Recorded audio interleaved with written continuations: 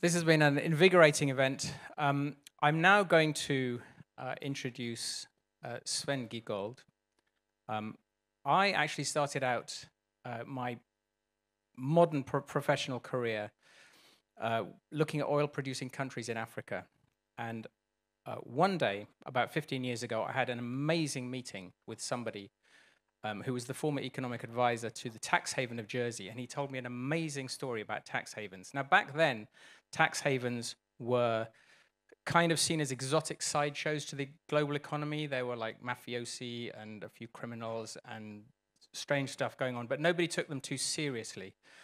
Um, the story, the amazing story I heard was that tax havens were right at the heart of the whole globalization project and they were bigger than I thought, much bigger than I thought. They had huge macroeconomic implications, um, and that they weren't necessarily where we thought they were. Back then, we thought it was about small islands in the Caribbean and so on.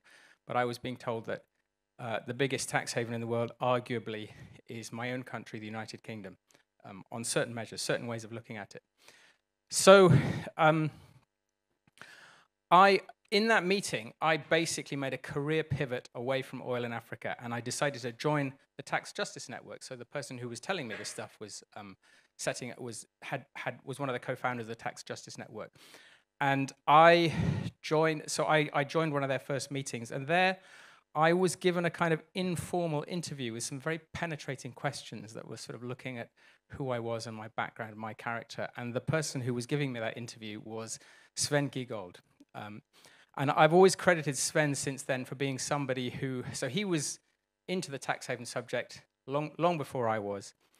And I've always credited him with being somebody who can see profound trends going on in our economies long before pretty much anyone else can. Um, so I'm delighted to welcome him to give a presentation, and then we're going to have a, uh, a short chat afterwards. So thanks, Sven.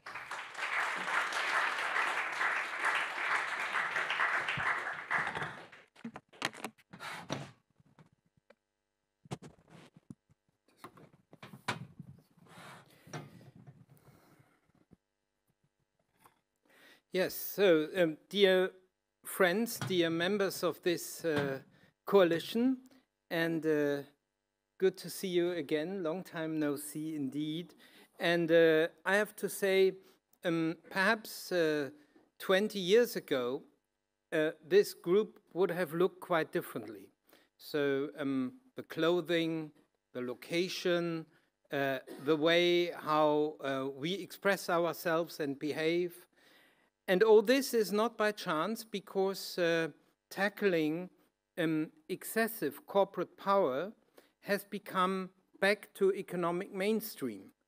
And uh, on economic power and competition, we can really proudly say uh, we have changed the intellectual mainstream. Our friends in the US, what they managed, what happened in several EU countries is um, breathtaking, I would say, and uh, economic power and concentration are back on the political menu, and also is um, competition policy.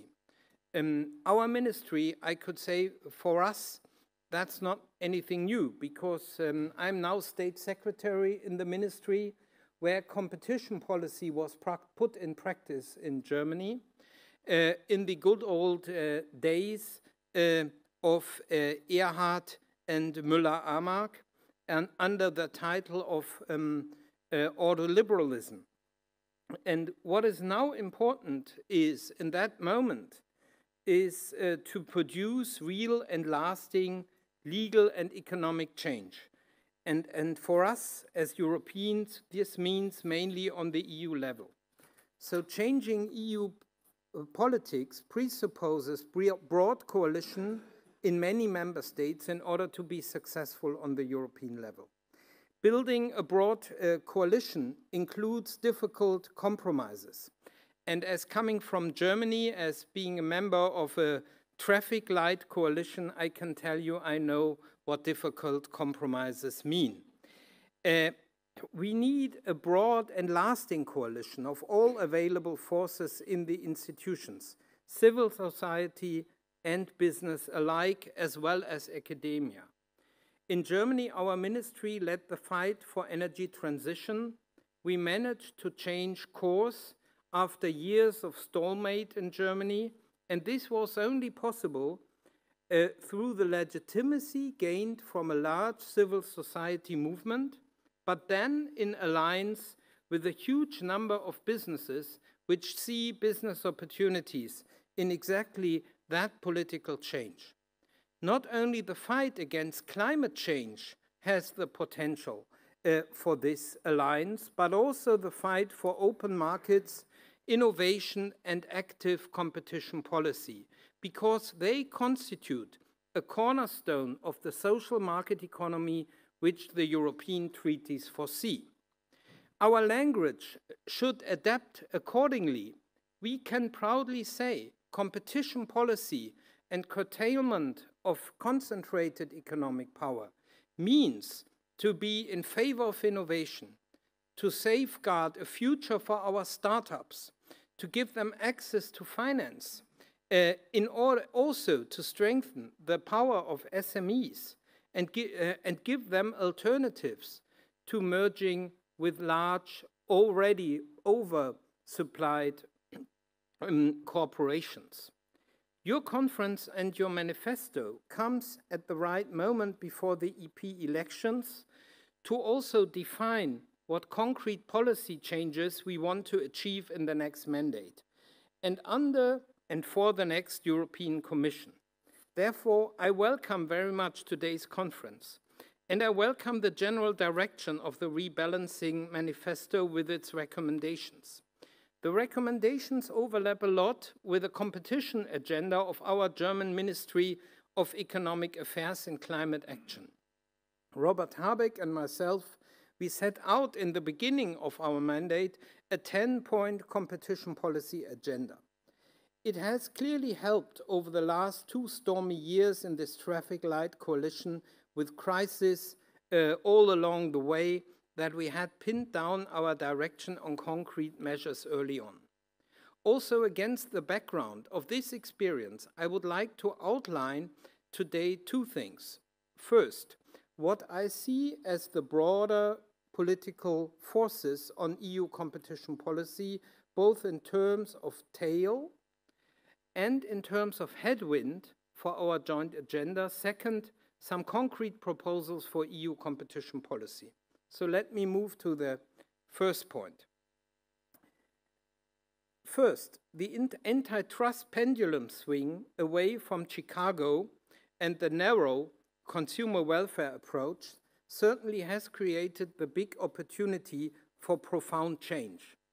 This is also due to your work over years, for which I would like to thank you wholeheartedly. This includes both the signatories and the supporters of today's manifesto. You are in a certain way the civil society wing of many of the demands we have been following for a long time now. But second, also due to the current geopolitical crisis and the need to protect our economic security, competitiveness has become the top priority in economic policy. It is unclear yet whether this will play out more as opportunity or challenge for competition policy. It is fair to assume that the next European Commission will, all about, will be all about competitiveness and industrial policy. We may see this in the Letta report, we may see this even more in the Draghi report. Whether in or outside these reports, there will be calls for European champions. There will be calls for more state aid and new protectionism. And there will be the political background song. Domestic competition would adversely affect global competitiveness and be bad for economic security. This narrative is not only dangerous for a social market economy, but also bad economics. There's little that fosters innovation, investment, and transformation as much as effective competition. And competition helps to improve economic security and the resilience of our European economy. Firms in markets with fierce competition better adapt to shocks and changes in capacity. More competition leads to more diversified supply chains. This also helps to reduce choke points and structural dependency. And it will also help us to go through the green transition, which is a necessity for all of us and our children. In short, now more than ever, the European treaties were right. They call for a European common market, not for European common monopolies. Third, a very substantial level of state aid will continue to have an impact on competition. Today's manifesto rightly makes the connection between state aid and competition. It points out that we should use state aid also to create a more diverse, sustainable, and balanced economy. Indeed, we have to make sure that we subsidize the green and digital transformation as such, and not single champions. In addition, we grant state aid. Competition is necessary to guarantee an optimal take-up of these subsidies. In general, it's obvious that there's a tension between a global race for subsidies and the European common market. For a real response to that tension, we need a more European approach, which means neither denying the need uh, for support of our industries nor putting our common market at risk. Fourth, the systems competition, in particular with China, is heating up. Some of you may remember the fight over Siemens Alstom. We are fortunate that the conclusion was it is not in our merger rules that, are, that is the problem. It is unfair Chinese subsidies. Therefore, we were right in being systematic and tough on the root causes of the problem, setting up the foreign subsidies regulation. Fifth, we need also to think together competition, consumer protection, and product safety. The EU rightly has high standards, but we also need to enforce them. Platforms such as Temu have to be systematically scrutinized and, if necessary, banned from selling unsafe or otherwise illegal products in Europe. And if member states do not live up to their task of enforcing our standards, the Commission should step in to force effective implementation. Effective implementation is not a side dish in the internal market. It can no longer be ignored in Commission's infringement policy. Let me now turn to my concrete proposals for EU com uh, competition policy in the years to come. I would like to focus on five proposals. On the DMA, on abuse of dominance control, on a competition instrument, on sustainability, and on merger control. We have the Digital Markets Act in the books. The big question now is, will it work? The rigorous enforcement of the DMA is essential because breaking the power of these gatekeepers is essential for fair competition. It is essential for giving our SMEs the opportunities they deserve. It is essential for a fairer distribution of opportunities and wealth. It is essential for our economies and for our democracies. We will be measured by citizens whether we implement the DMA or not. The European Commission has opened non-compliance investigations against three gatekeepers. There are two potential constraints on the Commission's tasks, resources and rules. On the resources, the German government has officially made the proposal to introduce fees on the gatekeepers to cover the costs of monitoring and enforcement. This is the realistic answer to the budget constraints to come, also with a view to the next um, MFF. And uh, therefore, uh, it is a logical response to ensure that the Commission has the financial means in order to have the, um, the respective means to, to counter the bunch of lawyers uh, from the large gatekeepers they have to face. A similar approach is already implemented in the DSA. And therefore, there are good reasons in order to give Commission also in this area the access to the needed resources. In the context of resources, let me address the more general issue of revolving doors.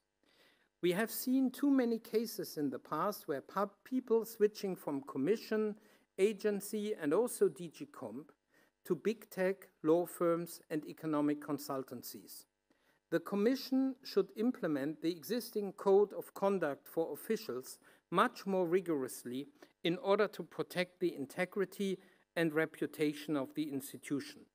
Any impression has to be avoided that knowledge and insider information gained in the public interest can be sold for private gain. And certainly, travel of commission staff should not be paid by private actors. Therefore, I've taken up this issue with the comp leadership. At the same time, some very critical voices on Fiona Scott Morton's candidacy for the chief economist job at DG Comp reminded me a bit of the congregation of faith. Also, in the future, our public institutions need qualified experts with deep private sector experience. And the larger our coalition grows, the more careful one should be with uh, too much based uh, uh, uh, uh with a language of campaigning, which is basically pushing away some of the allies we urgently need. The more successful we will be in our fight, the more experts from private sector will be tempted to work on the public side. Each person's profile and values has to be evaluated. The campaign against the nomination of Fiona Scott Morton, even often without speaking to her personally before starting campaigning, was for me clearly over the top. On the rules of the DMA and whether they are sufficient, let me be clear. We will not blind ourselves into just repeating the DMA has to be a success. There will now be enforcement of the DMA, and there will be swift political judgment on the enforcement. If the DMA enforcement does not achieve changes in behavior and markets quickly, there will be a tougher and different upgrade. This would have to include wider discretionary powers for the Commission, reaching up to structural separation.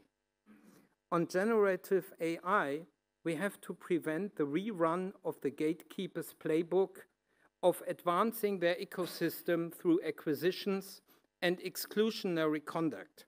But this is not sufficient we should prepare for an upgrade in the DMA to safely include gatekeepers' conduct in cloud computing and AI. On the control of abuses of dominance, the Commission will publish its new draft Article 102 guidelines this summer. The next Commissioner will then decide on the final text. I welcome that the Commission wants to make its Article 102 enforcement more workable I agree with the manifesto uh, that the way to do this is to deploy more bright line rules. The Commission has to reduce the number of cases where it has to carry out full economic effects analysis. We need a real rupture here. Only if the Commission is bold and leads the way, there will be change. The best scenario would be that DMA enforcement becomes a laboratory and model for more efficient and quicker Article 102 enforcement. More generally, Europe needs a competition instrument for the European Commission. We have introduced such an instrument last year in Germany. The Bundeskartellamt already had the powers to investigate a sector before our reform. Now it also has the powers to stop a significant and continuing malfunctioning of competition. Possible remedies include closer monitoring of mergers, the facilitation of market access for competitors, or even as ultima ratio, the divestiture of parts of an undertaking. Why such a competition instrument? Two main reasons. First, for significant structural competition problems in a sector We need more than the one off and piecemeal enforcement against specific infringements in lengthy procedures. Second, conduct on the markets nowadays moves away from blunt cartels to the fringes of existing competition law. Therefore, we need to fill the gaps in our toolbox to tackle some of this behavior. We have taken inspiration from the UK CMA market investigation model. Some EU member states, such as the Netherlands and Denmark, are also considering introducing such instrument. The European Parliament has already welcomed the initiatives across several member states. It calls on the Commission to introduce a market investigation tool to avoid enforcement gaps. I'm working on broadening the camp of supporters in the Council. We suggest to focus the EU competition instruments on those sectors which have an international dimension and are of high importance for the overall EU economy. This is why, where our burning problems with a lack of effective competition lie and where the support for a tough European response is broad. European competitiveness needs not less, but stronger and more targeted competition policy. Another area where we have to move forward in the future on the EU level is sustainability. In Germany, we will soon reform competition law on sustainability agreements. We will follow into the steps of the Netherlands and again the UK, which I still miss in the EU, by the way, in particular with regard to environmental out-of-market efficiencies. What is more important, we have to already send the signal that the next EU horizontal guidelines have to be more ambitious in this regard also for the international debate. The fifth and final area for action I would like to mention today is merger control. We acknowledge that DG Comp seems to have learned from past mistakes such as Facebook, WhatsApp. There seems to be a tougher enforcement line emerging, including the prohibition of booking eTraveli and the abandoned acquisition of iRobot by Amazon. We need a legally sound solution for killer acquisitions. Therefore, the next Commission must look into a reform of the merger regulation and the guidelines on horizontal and non-horizontal mergers. This is also necessary in order to concentrate the resources of DG Comp on the merger cases that matter and reduce red tape where it less matters less. If this proves difficult because of the unanimity requirement, alternative routes for mer reforming merger control need to be used. So, to conclude, I would like to return to my words from the beginning on, fair on the Fair Competition Coalition. I would be happy to see as many of us possibly stepping up from advocates of change into agents of change, where in and or around the EP whether in or around the Commission, for example, as members of the new advisory body at DG Comp consisting of representatives of civil society and consumer organizations, which the manifesto suggests. And lastly, I'm looking forward to the moment when your new coalition organize, organizes a powerful meeting together with the business community to defend an innovative, competitive Europe. This is the next step in order to win in all these struggles and not only to talk about it. Thank you.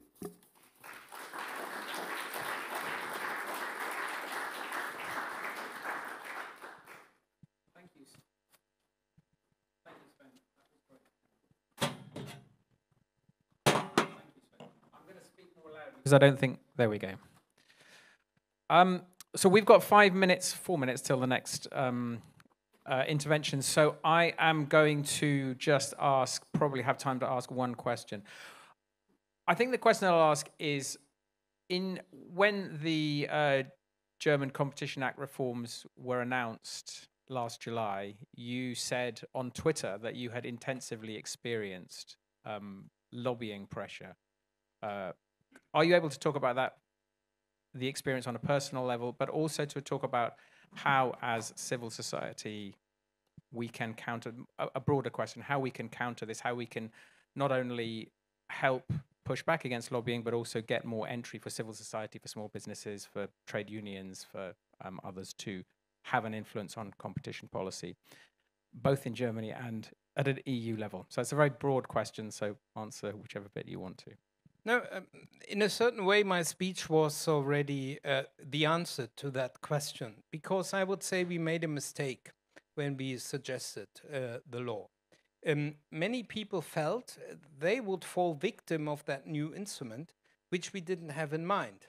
And as we are uh, respecting the Bundeskartellamt autonomy, we were not able to say specifically which sectors we actually had in mind because we didn't want as a ministry to prejudge where we have long lasting problems of competition. So, therefore, we could not speak about the sectors.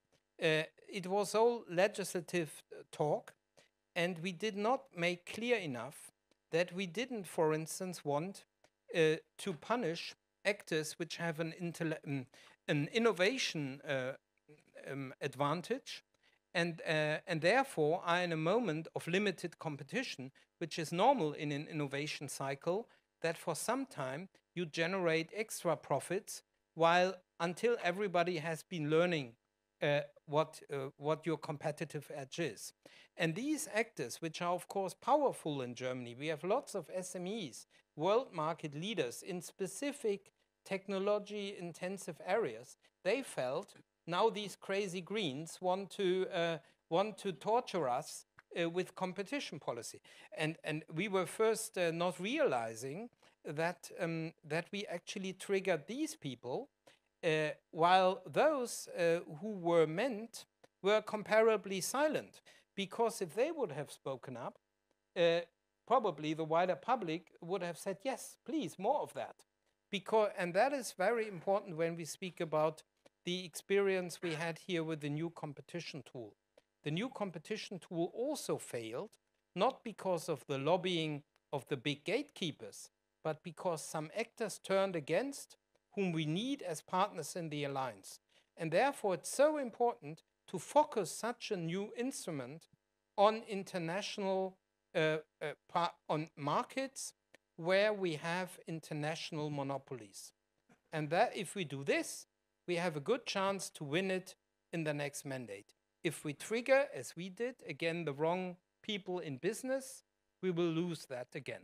So, therefore, my recommendation in the speech was to, to be more targeted where we want such an instrument in order to have a chance to win. And uh, I read with care your manifesto. My suggestion would be a bit more uh, targeted wording would be helpful to get more support. Okay, thanks. Well, that takes us neatly to the end of our time. Thank you so much, Sven. Um, it's been an honor to have you here, and I'm now going to hand over to Barry, I believe, to finish this up.